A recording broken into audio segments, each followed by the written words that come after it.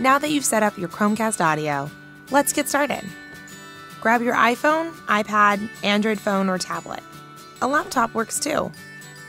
Connect to Wi Fi. Open a cast enabled audio app. Pick a song, station, or playlist. And then simply press the cast button. Anyone on the same network can cast without additional pairing. You can use your phone to browse playlists, skip to the next track, or adjust the volume from anywhere in your home. And once you've got the music playing, you can use your phone for anything you want, like answering a phone call without disrupting the music.